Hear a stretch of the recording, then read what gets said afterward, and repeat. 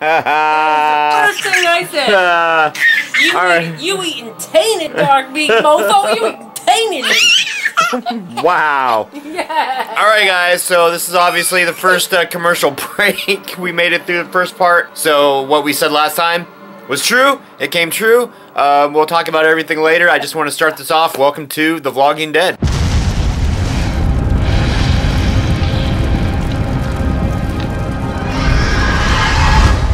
Hope that you enjoyed the episode. I hope that you enjoy our new backdrop. I finally got it kind of like rigged. I did it within the last five minutes. Anyway, it is time for the Vlogging Dead. What did you think of the episode and the synopsis as a whole? I kind of knew what was coming up because of the comics, and everybody was talking about the comics online, and um, and uh, it, it was going to be a slaughter, and Rick was going to slaughter the termites. It was fa- fantastic, Now, and uh, I, I kind of knew what was coming up.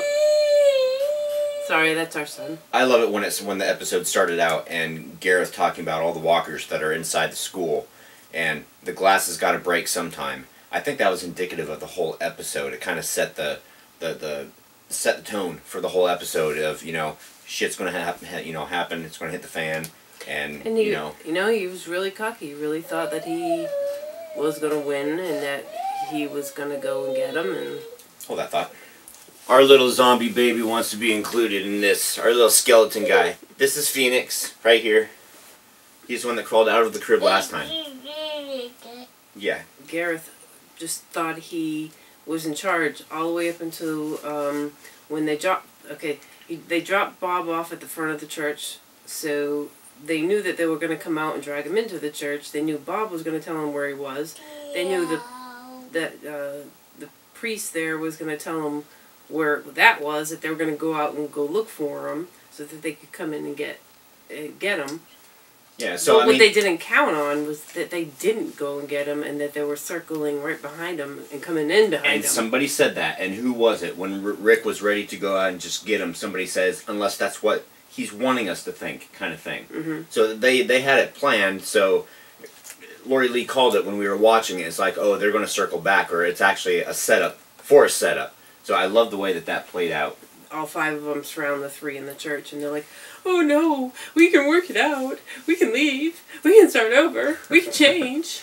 Now, a couple of interesting th- uh, points, a couple of questions for you guys on, on what you think. Um, the the first thing is is tainted meat. It was never really answered on is that bad? Is it will it turn you quicker than you know just death itself? So that's a question. Hold on, that's a question that needs to be answered. no, they did kind of touch on it. I read the wind. Exactly, that's what I was thinking. They did kind of touch on it though. They they made the point that they did fully cook it, and you know, it it doesn't seem like it would. uh So maybe it was just a it's- maybe it's just a mind play. Bob sitting there laughing Yeah. and telling, "Oh, it's tainted," and everybody's like, "Oh crap, what's going to happen?" It was Bob's last way to mind F him, you know, and have his last laughed. Last Okay. laugh, you know, because he didn't know how much longer he had, and he just wanted to mess with their mind. Raise your hand in the comments down below. How many of you guys saw a change in Glenn? Glenn stepping up to kind You of be a leader and be his own man aside from away from the group. Yeah, but the, this the, Glenn coming in behind him to go get the termites. First of all, you know, um, when they Abraham and Sasha and Rick surrounded the three that were left, Tara oh. and Maggie and Glenn stepped back and just stood there and watched, and they were like, just standing there watching. Hello, these people were going to eat you. Glenn had a bat to the back of his head. And he Why would next, you right? not? He was, was next. next. Glenn was next. If those guys were going to do that to me, I would have been over there slashing at him too. and he's sitting there, he's just going, "Oh wow, Rick is is cutting him up with a knife. What the? Why are you standing Yeah. there like a pussy? Get in there, do something about it." It- It's almost as if he's got this mindset to go with, you know, to go to DC and, you know, become his own become his own person, start making his own choices, go to DC because he's looking for the greater good and, you know, again, maybe that's falling back on Hershel because Maggie was kind of with him too, you know, in that whole thing. I mean, I realized they're a couple and whatnot, but you know, I, I think that that's what he's looking at, and I think that he saw a little bit of humanity again leave Rick, even though I feel that's justified because oh, you Oh, know yeah. Rick, Rick is well, I mean, obviously for the revenge factor, but also them. the the where they're at right now in the apocalypse. They were planning on eating the damn baby. Well you know, and then deal.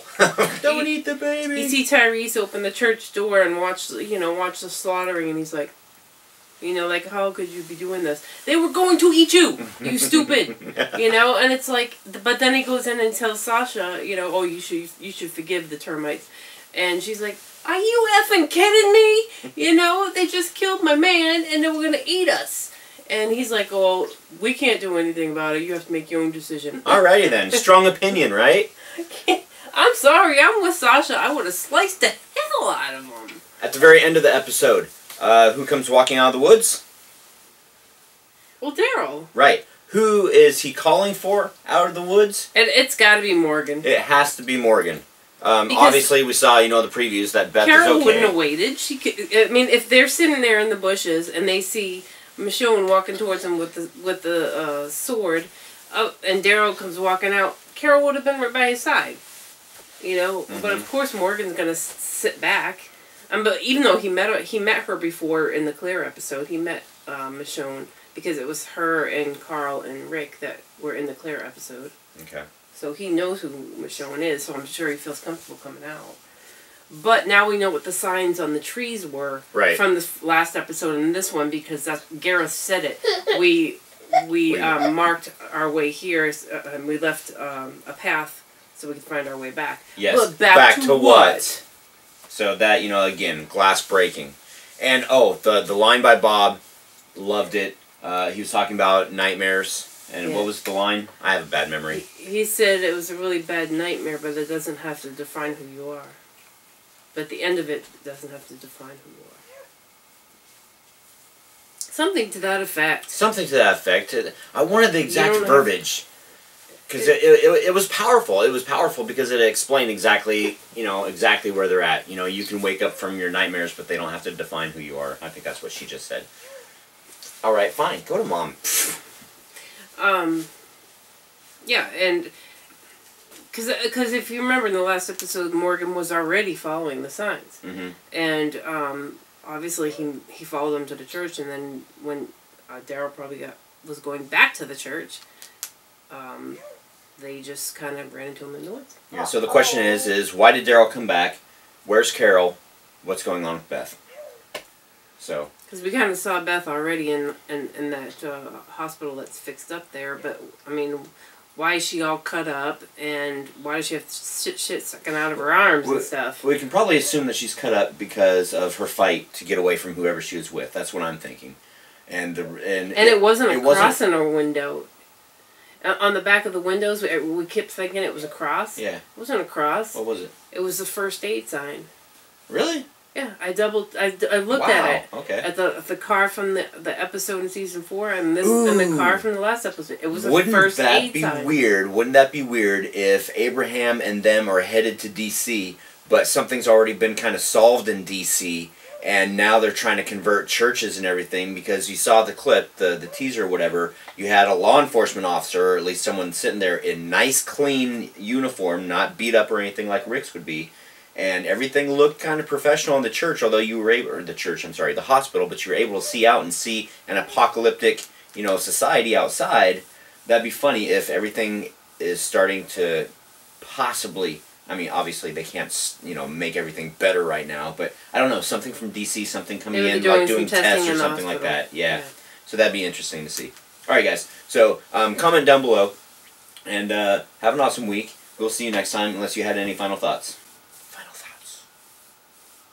I just don't understand Maggie and Glenn, and, and Glenn was the one who stood up and yelled, "We are not ever splitting up again." And then they're like, "Okay, we'll go with you." Hello, you just said it last episode that you're not splitting up. You just found your way back to each other after all these months, and now you're going to say, "Okay, well, see you later." All right. Cool. All right, guys. I don't like that. So put everything down in the comments. Happy haunting, and we'll see you next week.